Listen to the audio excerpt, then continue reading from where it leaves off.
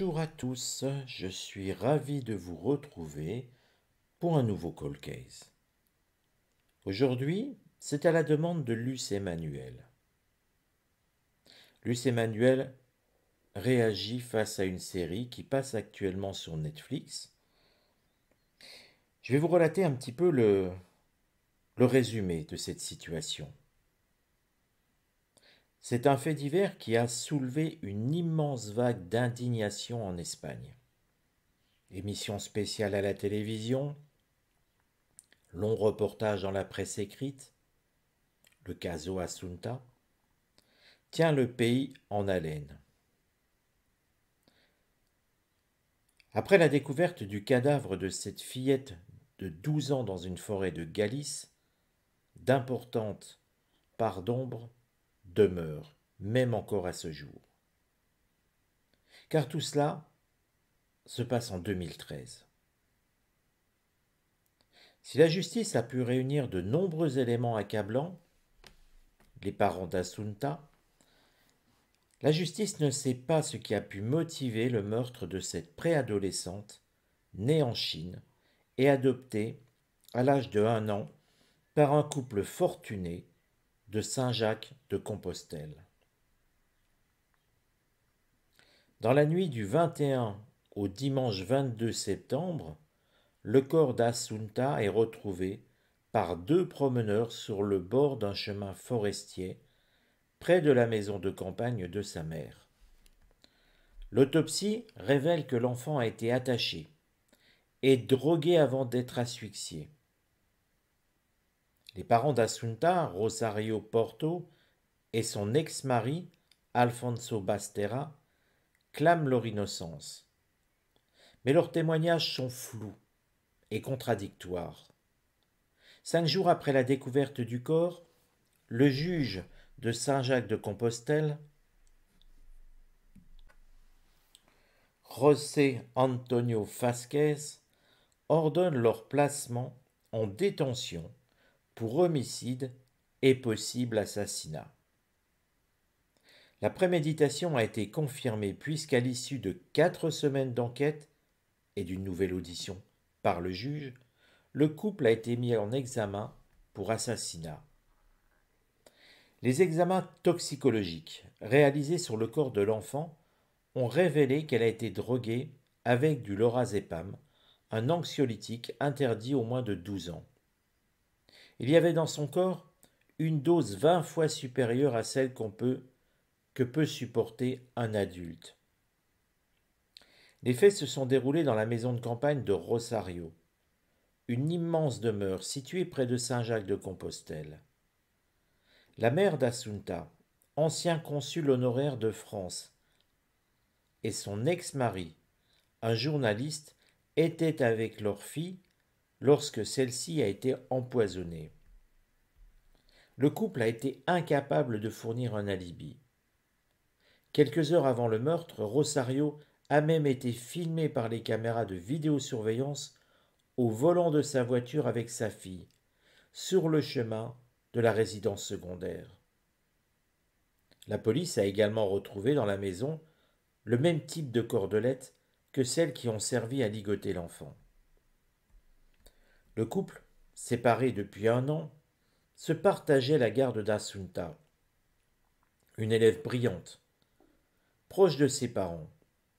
Scolarisée dans un prestigieux collège de, Saint-Jacques de Compostelle, l'adolescente avait même sauté une classe. En plus de ses leçons particulières de danse, elle apprenait le piano, le violon et suivait des cours d'anglais. Ces derniers mois, elle s'était plainte de maux de tête. Le 16 juillet, elle avait manqué de s'évanouir au conservatoire de musique. Elle avait expliqué à son professeur de solfège que sa mère lui avait donné des pastilles. Ma mère veut me tuer, avait-elle bredouillé. Un élément qui a renforcé la conviction du juge. Le meurtre d'Assunta était prémédité. Dans la presse espagnole, les hypothèses concernant le mobile se multiplient. Héritage, jalousie d'une mère envers sa fille devenue trop brillante, déchirement au sein de l'ex-couple. Mais pour l'heure, le mystère demeure. Ce qu'il faut savoir, c'est qu'Alfonso Bastera et Rosario Porto ont été reconnus coupables le 30 octobre 2015 et condamnés à 18 ans de prison chacun. Rosario Porto a mis fin à ses jours en 2020 et Alfonso Bastera purge toujours sa peine à l'heure qu'il est. Si l'affaire a une résolution judiciaire, le mystère reste entier sur le mobile du meurtre. Et puis des questions demeurent. Pourquoi ces parents qui donnaient le sentiment de s'occuper de leur fille l'ont-ils droguée et tuée Alors ceux qui regardent Netflix, la série donne deux théories sur cet assassinat. La première concerne le fait qu'une autre personne que les parents d'Assunta aurait enlevé la fillette. Mais ne sachant s'il s'agit d'un homme ou d'une femme, la production de Netflix a préféré ne pas mettre en scène cette théorie à l'écran afin de ne pas trop fictionner l'intrigue et perdre en crédibilité. L'autre thèse qui a été écartée est celle selon laquelle Rosario aurait donné des cachets à Assunta et l'aurait attachée au lit avant de demander à une tierce personne de venir la tuer. Cet individu se serait ensuite débarrassé du corps. Mais là encore, la production disposait de trop peu d'éléments pour montrer cette théorie à l'image. Mais la réalité, quelle est-elle? Y a-t-il vraiment une tierce personne? Les parents ont-ils commis ce crime? Est-ce juste l'un d'entre eux? Il y a de quoi s'interroger. Et puis si on veut simplement être terre à terre, pourquoi dire à un moment que Asunta était proche de ses parents, comme tout semblait le montrer, et venir ensuite tout, faire écrouler en disant qu'Asunta s'était plaint que sa mère voulait la tuer. Il y a quelque chose de mystérieux dans tout ça.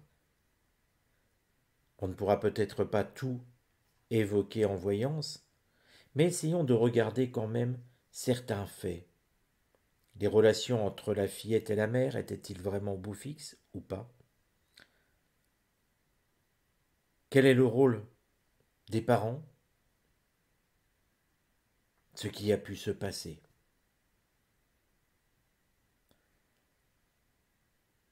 Autant de théories qui doivent être explorées.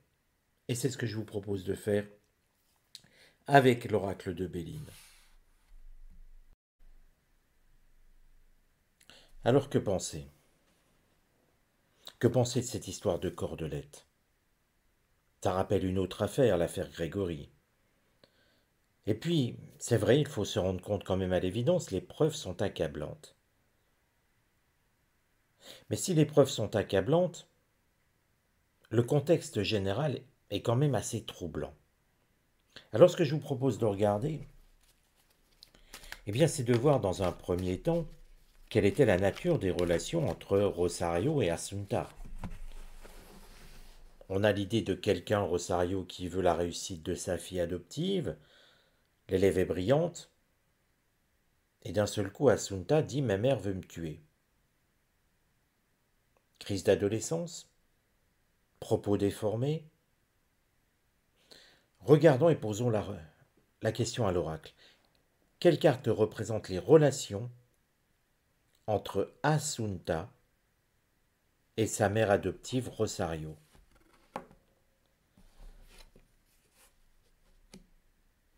Nous avons une carte martienne. Et nous avons le serpent. Le serpent est l'épée, ennemi on a l'impression de manipulation. Mais qui manipule l'autre? Rosario manipule-t-elle sa fille? Ou est-ce sa fille adoptive qui manipule Rosario? Là, la question n'est pas tranchée. Donc on va poser une autre question, ou plutôt deux autres. Quel regard Asunta a sur sa mère? Et quel regard Rosario porte-t-elle sur sa fille? Rosario porte un regard plutôt bienveillant. Nous sommes avec une carte solaire. Elle la voit grandir. Alors ce regard est peut-être bienveillant, mais ça n'empêche pas qu'elle pourrait la voir comme une ennemie ou pas. On verra en fonction de la carte au-dessus. Donc on regarde Rosario. Quel regard porte-t-elle sur sa mère? Et là, vous voyez, Asunta est en train de porter un regard sur sa mère plutôt agressif. Autant sa mère, autant Rosario voit Asunta grandir, euh, s'élever, elle a l'impression d'une jeune fille qui s'épanouit, je pourrais le dire comme ça. Mais là, ici, Asunta a un regard un petit peu dans l'agressivité. Elle a des reproches. Elle ne s'entend pas avec sa mère. Alors c'est quand même bien curieux.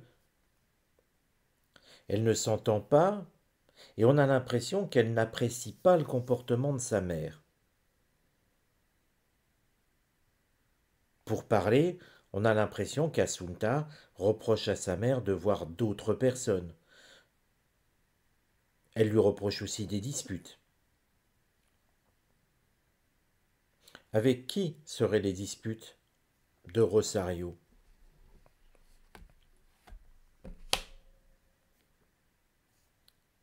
On a l'impression que quelque part il y a une jalousie vis-à-vis euh, d'une histoire de cœur. on a l'impression que Asunta jalouse sa mère. Jalouse sa mère, en tout cas lui reproche son comportement amoureux. Peut-être pas dire jalouse, on va peut-être mesurer un petit peu le propos. Mais ces cartes semblent dire qu'Asunta reproche le comportement amoureux de sa mère. Alors que sa mère n'a pas de regard malveillant.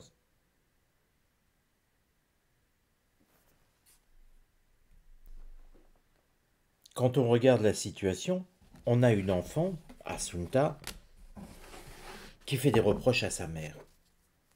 Qui reproche à sa mère son comportement amoureux. On sait que les parents sont séparés, Alfonso et euh, Rosario. Alors, ce qu'on peut essayer de voir, c'est les relations entre Asunta et son père Alfonso. Quelle carte représente les relations entre Asunta et Alonso? Alfonso.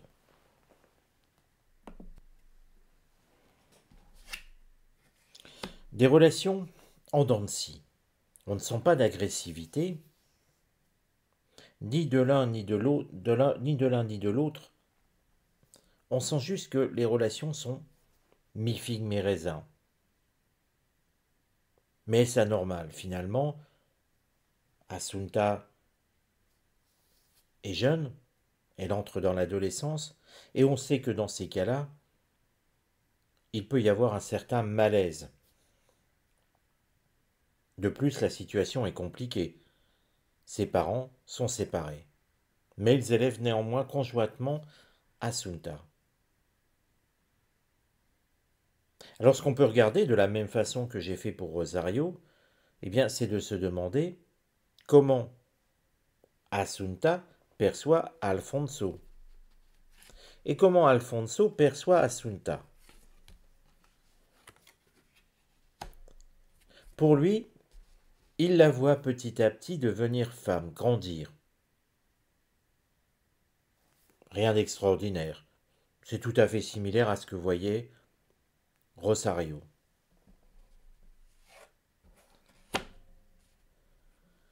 Et Assunta, on a l'impression qu'elle a peur que son père s'en aille définitivement. Sur le temps, nous avons une carte saturnienne. Je vous la montre un petit peu plus bas. Cette carte pourrait laisser penser très facilement que au final, Asunta a peur que son père la délaisse. Ce qui montre quand même une relation plus familiale entre Alfonso et Asunta. Mais les enfants trouvent toujours un parent en opposition. Et les filles sont bien souvent en opposition avec leur mère à un moment dans leur adolescence. Ce que nous allons regarder maintenant, c'est finalement qu'est-ce qui a pu se passer?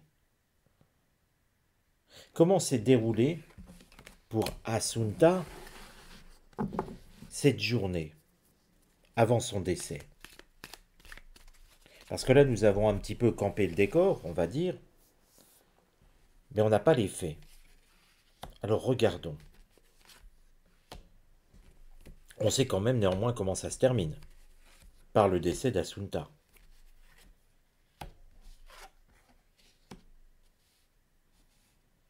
En tout cas, Asunta semble être avec ses parents. Assiste même quelque part à une discussion avec ses parents. On y parle d'amour, de projet d'union. Ça ne dit pas si c'est le projet de ses parents de se remettre ensemble ou pas. Mais visiblement, Asunta en tout cas, est potentiellement ravi de voir ses parents à disposition. Néanmoins, gros malaise. Nous avons une carte émotionnelle. Asunta ne se sent pas bien. Non pas par rapport à la maladie, il ne faut pas lire la carte bêtement, non, mais par rapport à quelque chose qui l'angoisse. C'est ce qu'elle entend. Visiblement, c'est ce qu'elle entend, qu'elle, en tout cas, ou au moins qu'elle constate. Il y a quelque chose qui l'angoisse et qui ne va pas.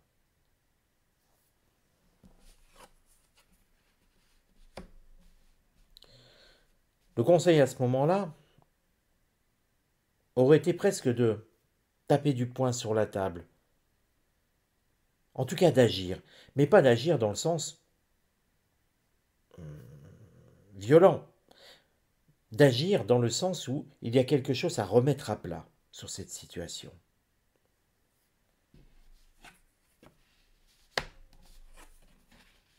Trois cartes émotionnelles. De notamment, regardez, on a l'impression, si on prend le, si on reprend un petit peu le tirage, on voit ici que tout va bien. Servons-nous des septénaires. Je sais que trop souvent, beaucoup de voyants ne le font pas, et pourtant les septénaires montrent vraiment très bien les comportements, les idées. Tout va bien D'un seul coup, ça va mal.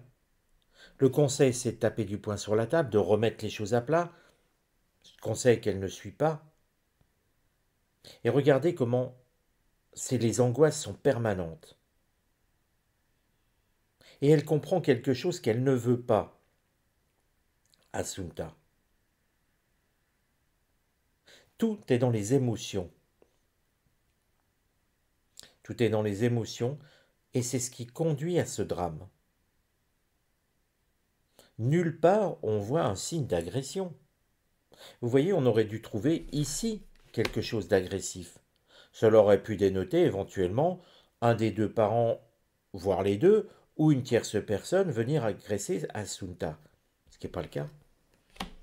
C'est pas du tout ce profil-là qui arrive on sent bien que quelque chose ne va pas, mais on est dans les émotions. Or, attention, Asunta prenait du lorazépam pour des problèmes d'allergie, visiblement depuis un moment. C'est ce que les parents ont rapporté. Mais pourquoi d'un seul coup l'empoisonner? Il y a quelque chose qui ne colle pas dans toute cette situation. Si les parents avaient voulu se débarrasser de d'Asunta, eh bien voilà, deux tubes de lorazépam, mais je pense qu'elle n'y survivait pas. Et puis pourquoi des propos cohérents? Pourquoi après euh, clamer son innocence? Alors vous me direz, les prisons sont pleines de personnes qui clament leur innocence. Moi, pour moi, tout ça ne me satisfait pas. Et puis surtout ici, cette zone-là. Quelque chose ne colle pas ici. On pourrait se demander quel rôle a joué Alfonso dans le décès de cette jeune fille.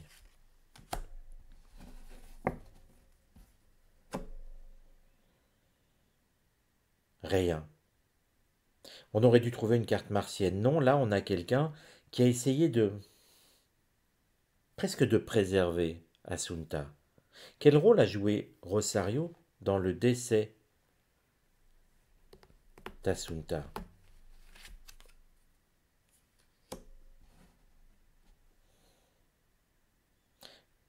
Je ne les vois pas.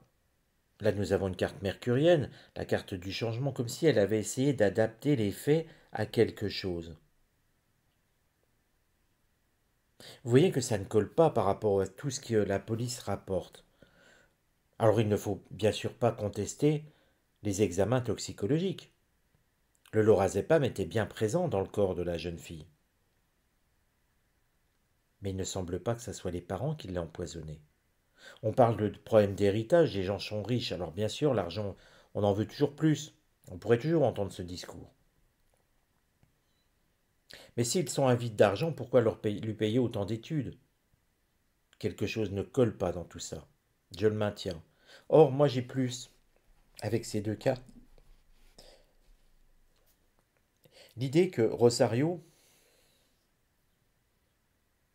et son mari, finalement, ont voulu mettre en scène un décès. Ils ont changé, elle a changé certains aspects, presque a changé le déroulement des faits. Vous voyez un petit peu euh, l'idée qu'on a arrangé une, situation. Et lui a souhaité préserver un petit peu la mémoire d'Assunta.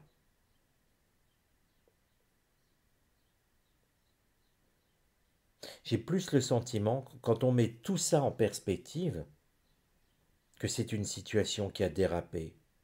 Une jeune fille qui a volontairement absorbé le lorazépam. Un appel au secours d'Assunta par rapport à une situation qu'elle voyait se dégrader avec sa mère.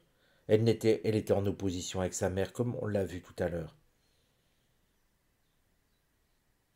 Ils élevaient conjointement leur fille mais quelque chose allait changer, quelque chose qui a fait peur à, Assunta. Elle a voulu crier son désespoir, et au lieu de taper du poing sur la table, de montrer son désaccord, elle s'est enfermée avec toutes ses cartes euh, lunaires. Elle a, pour moi, elle a, elle a voulu crier au secours. C'est elle qui a avalé tout, le, tout ce lorazépam.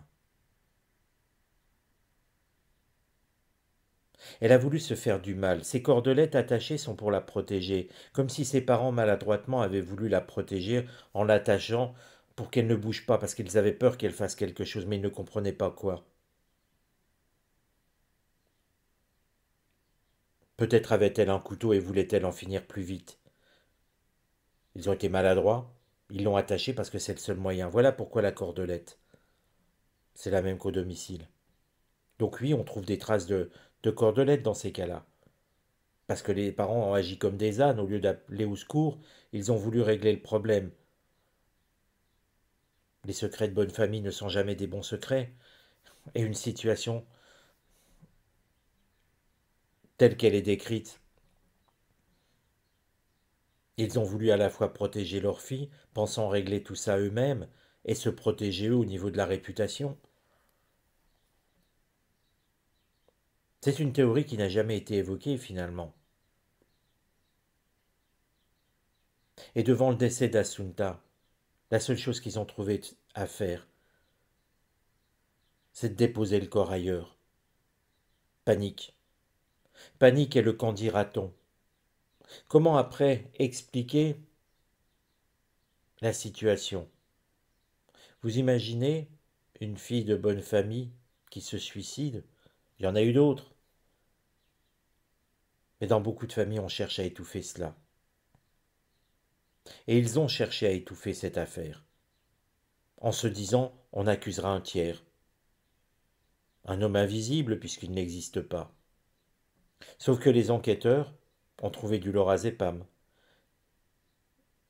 dans le corps. Et qu'au lieu de penser à un suicide, ils ont pensé à un meurtre. Parce qu'il y a les traces de, où on attache la jeune fille. Et les parents, au lieu de d'expliquer, se sont enterrés dans des explications floues. Parce que oui, quelque part, quand on ment, quand on ment et qu'on se dit on se débarrasse de notre fille, ne pensez-vous pas que les parents auraient mis au point un discours bien rodé, bien huilé? Trop huilé d'ailleurs. Ils auraient dit exactement la même chose et s'en seraient maintenus à leur déclaration sans arrêt. Mais quand on est innocent et qu'on essaie de protéger quelqu'un, on bafouille, on dit des âneries. Et on s'enterre dans des mensonges.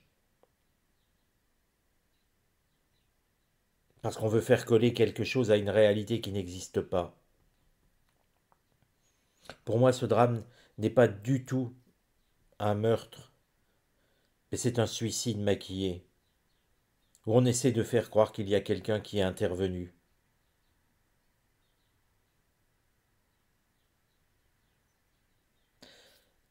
Voilà, j'espère avoir répondu à cette interrogation de, de Luce Emmanuel, à vos interrogations peut-être. Alors bien sûr, je vous encourage à regarder la série Netflix, à méditer sur ce que nous venons de voir. Alors la série n'est pas forcément réalité, même si elle était très fidèle d'après ce que j'ai pu lire. Il faudra que je la regarde pour voir, pour me rendre compte. Mais ça ne reste qu'une série. On ne peut pas transmettre dans une série, si vous voulez, les émotions qui viennent de la réalité. Il y a forcément une interprétation qui colle aux enquêteurs. Donc la série donnera un aspect qui suit un petit peu l'enquête. Ce qui aurait été intéressant, c'est de, euh, s'attacher au côté psychologique d'Asunta, ce qu'elle pouvait observer de ses parents, ce qui se faisait sur la vie de sa mère. Je vous donne rendez-vous à très bientôt pour un nouveau call case. À bientôt les amis.